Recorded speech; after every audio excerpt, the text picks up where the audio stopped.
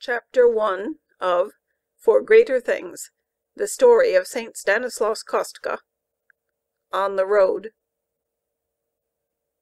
Mid August, in Vienna, the year 1567, when Shakespeare was still a little boy, twenty years before Philip II fitted out the Spanish Armada, forty years before the first English colony settled in America. The sun had just well risen, the gates of Vienna had been opened but a few hours. Through the great western gate, which cast its long shadow on the road to Augsburg, came a strange looking boy. He lacked but a month or two of seventeen years, was some five feet two or three inches in height, had an oval face of remarkable beauty and liveliness jet black hair, and eyes in which merriment dwelt as in its home. He was dressed as became a noble of the time, and in apparel of unusual splendor and costliness plumed bonnet, slashed velvet doublet, tight silken hose, jeweled dagger at his girdle. But it was odd to see so brilliant a figure on foot in the dusty highway Still more odd that he carried a rough bundle slung on a staff over his shoulder, and that, peasant fashion, he munched at a loaf of bread as he trudged the road.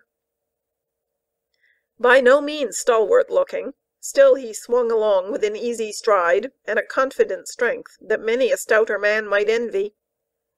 He was bound for Augsburg, four hundred miles to the west, and he set himself thirty miles a day as his rate of travel.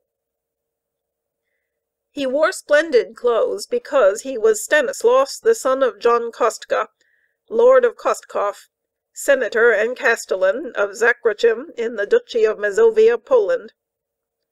He ate his rough breakfast like a peasant on the road, because he had just been to Mass and received Holy Communion at the Jesuit church in Vienna. He carried a bundle on his staff because he laughed merrily at fine clothes and had in that bundle a coarse tunic and a stout pair of brogans, which he meant to put on as soon as he got well out of the city. And his face and his eyes shone with joy, because he loved God most wonderfully, and was as happy a boy as ever moved through this dull world.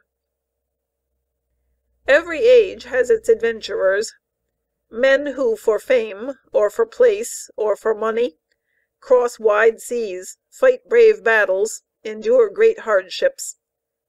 The age in which Stanislaus lived was filled with them. All the world reads with delight the story of such men, and every decent boy who reads feels himself, if only for the moment, their fellow in spirit, eager to do what they did and as bravely as they did. But was there ever adventure finer than this, ever spirit more gaily daring? Stanislaus Kostka, son of a noble house, a boy in years, starting without a copper in his pocket to cross half of Europe afoot. And for what? Not to have men say what a brave chap he was, not to win a name, or rank, or money, but because God would be pleased by his doing it, because God called him to do something which he could not do in Vienna. He felt he had a vocation to be a Jesuit. He knew his father would not consent. He took six months to think it over, to pray for light, to make sure it was no mere whim or fancy of his own, but the very voice of God. And when he felt sure, he left a letter for his brother Paul and his tutor Bilinski, with whom he had been studying in Vienna. He gave his money to a couple of beggars. He said, if God wants me to do this, he'll furnish the means.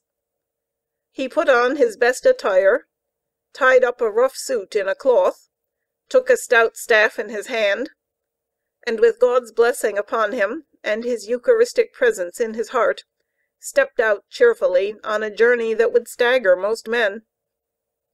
That is the stuff of which heroes are made. If Stanislaus had done this for the glory of the world, we would have his praises in our histories, we should have woven stories about him, the whole world would cry bravo. but he did it for God, and the world cannot understand him at all. The world is silent. An hour or so of that steady, tireless stride carried him well away from Vienna.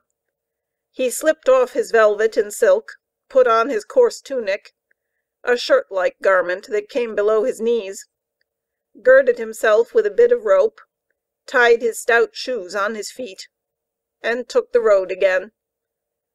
There were folk a plenty journeying from the countryside to Vienna in the early morning.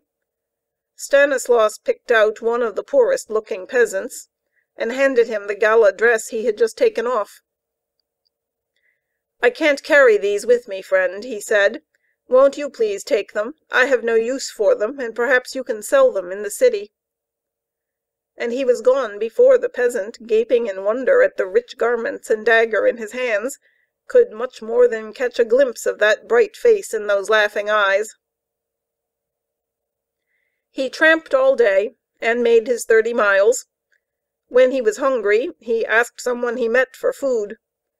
It is not likely that any one would refuse the smiling, handsome boy, from whose face innocence simply shone. But if any one had refused him, it would not have annoyed Stanislaus. His good humor came from heaven as well as from his own cheery soul, and you cannot rebuff that kind of good humor.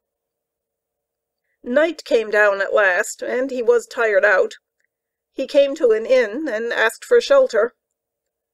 "I have no money," he told the landlord, smiling, "and I have no claim upon you. Will you take me in?"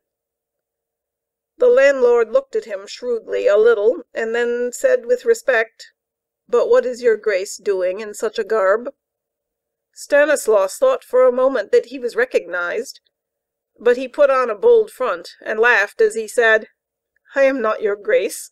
I am what you see me, and I have a long journey to make." In those days it was not unusual for even nobles to go roughly clad upon pilgrimages of devotion. That Stanislaus was a noble the landlord was quite certain. That he might be engaged on some such pious business was possible. But who ever heard of a mere boy going upon pilgrimage? The whole affair puzzled the landlord more than a little. However, the face of the boy reassured him. At least there could be no evil behind that frank, brave countenance. So he shook his head, saying, "I do not understand, but come in, you are welcome." He gave Stanislaus his supper and a bed to sleep in. "You shall not be the poorer for this," said Stanislaus, as he thanked him. You know God makes it up to us for even a cup of cold water given in His name." And as the boy spoke, the landlord saw his face glow when he spoke of God, and he was very glad at heart that he had given shelter and food to this strange boy. Stanislaus slept soundly, but he was up with the sun, washed and dressed quickly, and went to thank his host again before setting out. "But you will have something to eat before you go," cried the man, as Stanislaus stood before him, staff in hand, ready for the road. "It is good of you to offer it," the boy answered, "but perhaps I shall find a church before long, and I must go fasting to Holy Communion." Then the landlord marveled again, for at that period even good people did not go very often to Holy Communion, especially when they were traveling hard as Stanislaus evidently was, and his admiration and liking grew for this boy with the merry face and the heart so near heaven. At least, he said, you must take something with you for the way. And that Stanislaus did not refuse, but accepted gratefully, and so parted from the kind landlord, leaving him gazing in the doorway with wonder in his eyes. His legs were a bit stiff and sore this second day, but the first few miles wore that off, and he swung on his way as bravely and gaily as before.